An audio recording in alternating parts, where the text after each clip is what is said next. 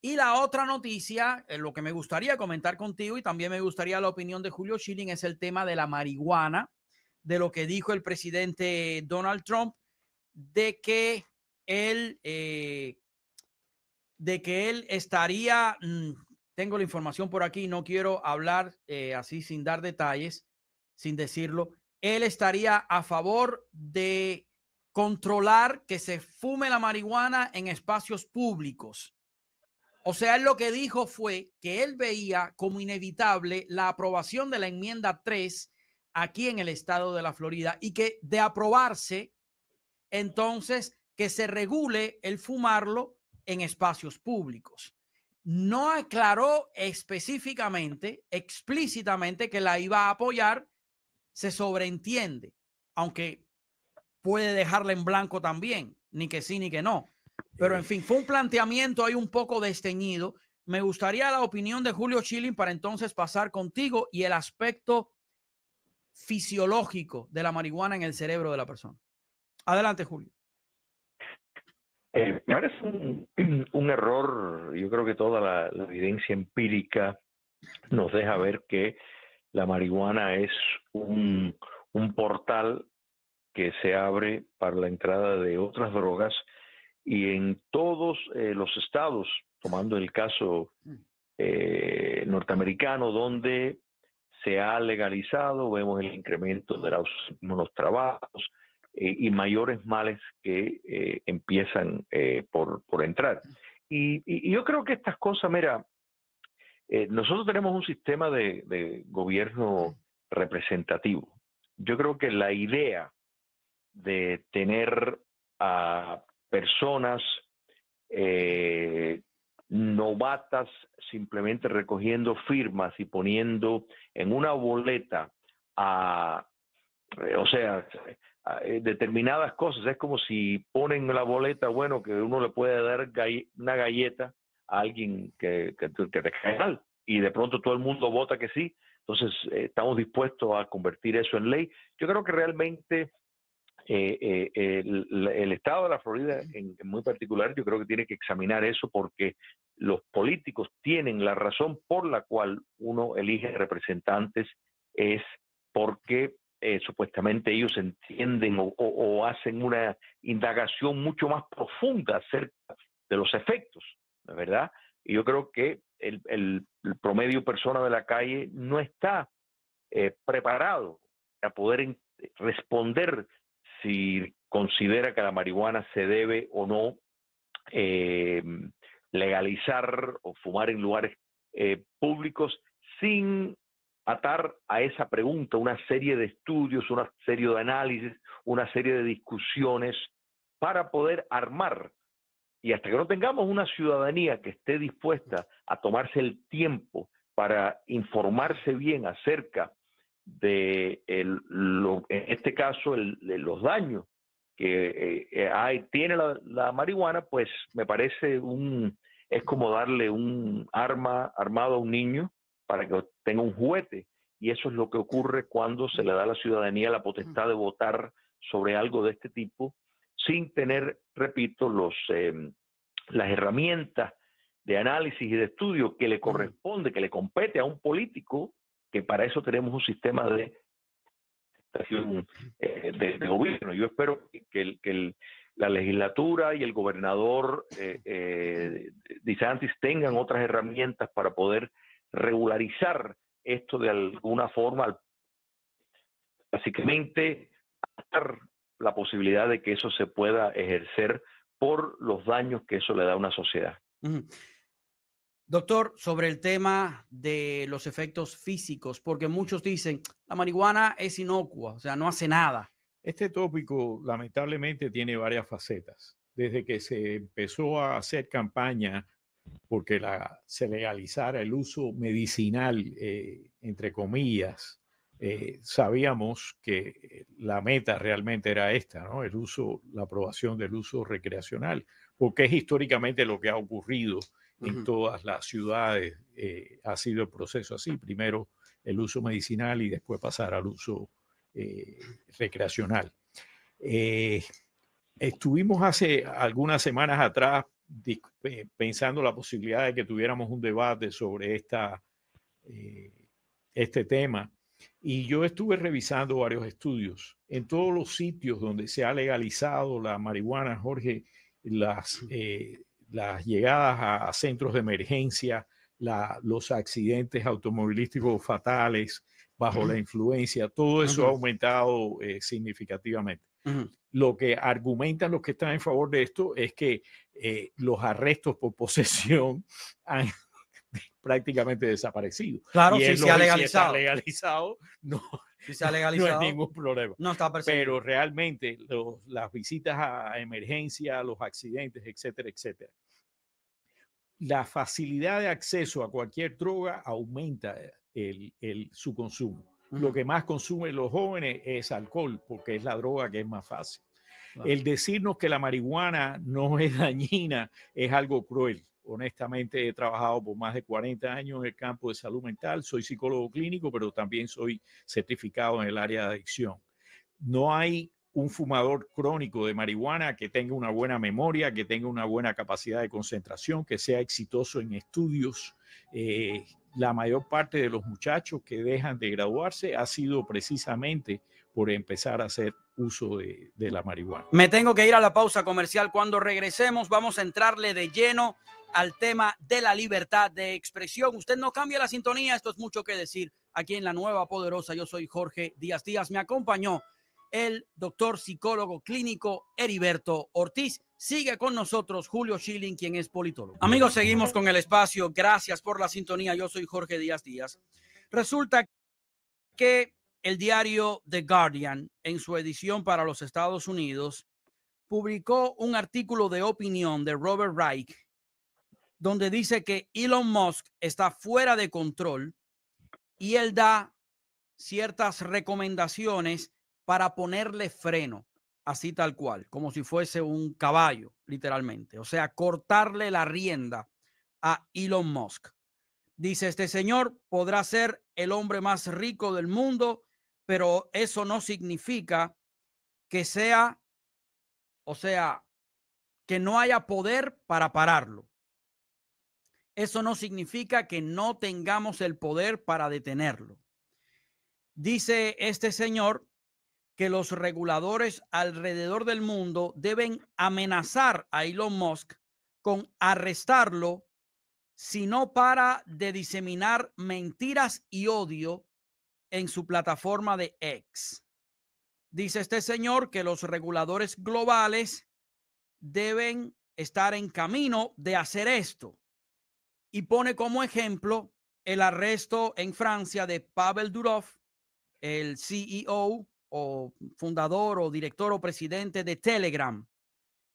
Y también dice que en los Estados Unidos, la Comisión Federal de Comunicaciones, eh, perdón, la Comisión Federal de Comercio debe demandar a Elon Musk para echar abajo sus mentiras que probablemente pongan en peligro a individuos. Y dice que si no lo hace, demandarlo bajo la sección 5 del acta de la FTC, que es Federal Trade Commission. Bueno, ¿qué te parece a ti esto, eh, Julio? Porque estamos a las puertas de una elección general. A mí me preocupa mucho esto. Ya Elon Musk recibió una amenaza que él no escuchó para que no concediera la entrevista, no tuviera la entrevista con Donald Trump. Él la tuvo. Exitosísima la entrevista. Yo no sé por cuántos cientos de millones de vistas ya vaya esa entrevista. Un espacio, un space. Pero ¿te preocupa a ti esto de cara a las elecciones generales, a este periodo que vamos a enfrentar en noviembre? Jorge, esto es simplemente una una muestra más eh, y, por supuesto por tomando en cuenta de lo que se trata, que es la libre expresión, eh, es una muestra eh, ya de a la luz del día a lo descarado, sin ningún disfraz, sin ninguna preocupación de pudor, están pidiendo censura, están pidiendo directamente una línea monolítica igual que se hace en las dictaduras más burdas y crueles. Porque, y, esto no es solo para la elección, sin lugar a duda, las elecciones 2020 y la confesión, por ejemplo, de, Mark Zuckerberg de Facebook, la, lo que conocemos como los files de Twitter, donde la presión del gobierno, el gobierno poniendo eh, ya como policía político el FBI y otras instituciones directamente amenazando a determinadas instituciones que colaboraran, cosa que no había que empujarlos demasiado, ¿eh? Hay que estar claro, porque aquí tenemos eh, un, un Estado no electo privado que en efecto quiere regular el lenguaje y, esto viene caminando desde hace tiempo, por ejemplo, bajo la mantra de eh, lenguaje de odio, lenguaje de odio, ¿no? Entonces, si no te gusta lo que están diciendo, es un lenguaje que te ofende. Eh, el tema de los pronombres, de criminalizar opinión pública. De eso estamos eh, hablando, que ellos están utilizando, y en Europa, por ejemplo, se está utilizando bajo el acto de servicios de digital, que bajo ese pretexto es que tienen arrestado a el, el, dueño de, el, de esta otra plataforma. Eh, Telegram. de Telegram, eh, porque lo hacen con los disfraces, y esto lo, vi, lo vimos, por ejemplo, con el coronavirus, criminalizando una opinión que discrepaba con la línea monolítica, que hoy sabemos que esa línea monolítica fue un fraude anticientífica y que engañó a personas que no se basaron en, en, ningún estudio que realmente reúne las calificaciones del método científico que requiere que se presente una antítesis que contradice la línea oficial. Ellos querían ilegalizar toda opinión y de hecho con amenaza de meter preso, de suspender licencias, de despedir a personas, que todo ocurrió, que todo ocurrió porque metieron personas presas, eh, le quitaron licencias a personas que se eh, dedicaron años para conseguirla, para criminalizar una línea monolítica. Lo estamos viendo ahora eh, lanzarse contra em, el ex, la plataforma ex de Elon Musk, porque es una plataforma de libre expresión y eso es algo que ellos no pueden eh, permitir. O sea, si vemos por qué en Cuba comunista no permiten la libre expresión, bueno, la racionalización que ellos utilizan es la misma que están utilizando Lula, que está usando Robert Reich, que está usando Kamala Harris, que está usando Barack Obama. Eh, y este acto de, Europa, bajo el disfraz de querer controlar actividad criminal, ¿no es verdad? Pues entonces quieren anular eh, cualquier opinión contraria a los objetivos ideológicos, porque detrás de esto hay una corriente ideológica que se considera que la, la, única forma de llegar al poder y de mantenerse en el poder, pues es censurar, criminalizar expresiones eh, contrarias, solamente permitir, porque ellos son los árbitros de lo que es la opinión eh, correcta, de lo que es el contexto, porque ellos consideran que todo es el contexto. Yo acabo de poner que eh, yo te lo mandé, eh, Jorge, a la propia Kamala Harris pidiendo. Y lo voy a poner ahora, sí. Que, se, que censuren. Y a Instagram me puso una coletilla diciendo, una coletilla en italiano, que por una de las organizaciones de ellos en italiano, diciendo de que poniendo un contexto, o sea, como en efecto validando lo que ella ha dicho, como si eso hay que entenderlo dentro de un contexto, cuando está siendo tan clara, cuando pide que se regule la libre expresión. Entonces, esto, ella no es de nuevo original a esto, ya Barack Obama lleva tiempo pidiendo esto, Hillary Clinton lleva tiempo eh. pidiendo esto, o sea, eh, todo esto realmente es eh, tremendamente preocupante. Y yo creo que un gobierno, eh, la única forma que esto se va a resolver es por medio de el gobierno electo que tome medidas con estas entidades privadas que son sensores y están eh, eh, llevando a cabo la tarea de un gobierno no electo que ejerce enormes poderes y movimientos ideológicos o, en el caso de la actual administración, por ejemplo, que están en el poder, pues utilizan a estas auxiliares del poder para reprimir. Julio, mira, Julio, mira, lo que está diciendo este articulista de The Guardian es que el libre discurso de Musk, o sea, los derechos del libre discurso de Musk, no están por encima de lo que él llama el interés público.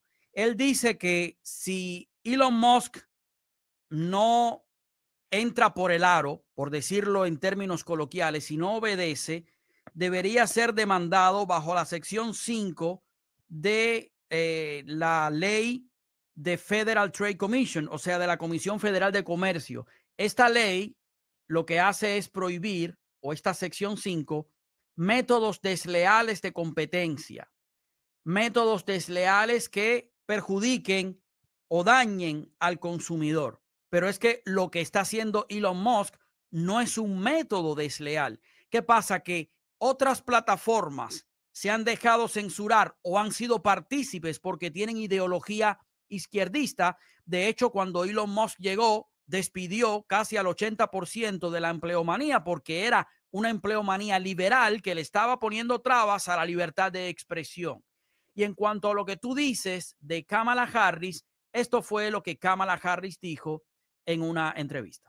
he has he has lost his privileges and it should be taken down and and the bottom line is that you can't say that you have one rule for facebook and you have a different rule for twitter the same rule has to apply, which is that there has to be a, a, a, responsibility that is placed on these social media sites to understand their power. They are directly speaking to millions and millions of people without any level of, of, of oversight or regulation. And that has to stop.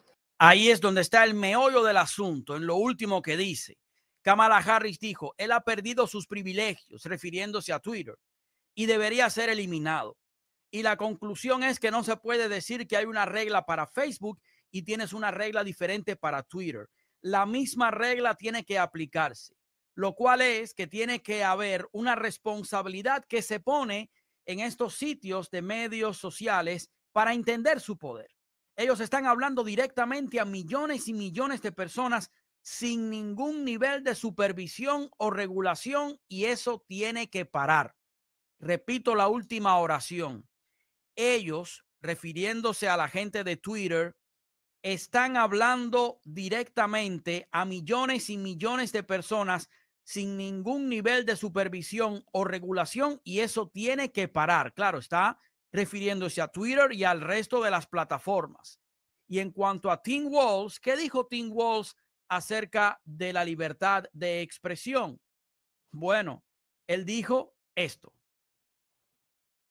I think we need to push back on this. There, there's no guarantee to free speech on misinformation or, or Dice, hate speech no hay garantía de libre discurso en la desinformación. Our democracy. En la desinformación o en el discurso de odio acerca de nuestra democracia.